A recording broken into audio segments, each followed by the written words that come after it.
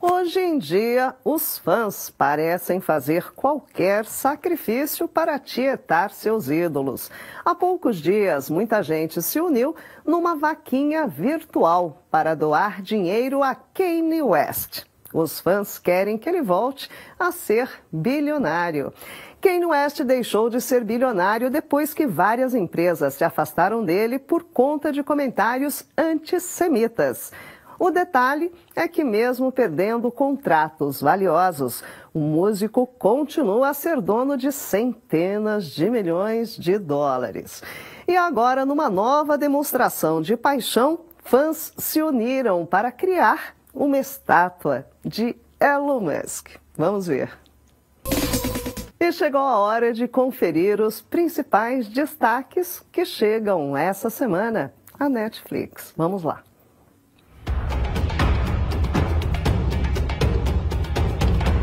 Quinta temporada de The Crown estreia na Netflix na quarta-feira, trazendo a década de 1990 chegando com tudo para a família real.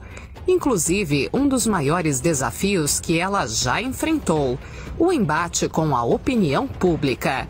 Começam a surgir muitas dúvidas sobre haver mesmo espaço para a realeza nesse novo Reino Unido. Já a comédia romântica Uma Quedinha de Natal estreia na quinta-feira no streaming. No filme, logo antes do Natal, a rica herdeira de um hotel sofre um acidente de esqui.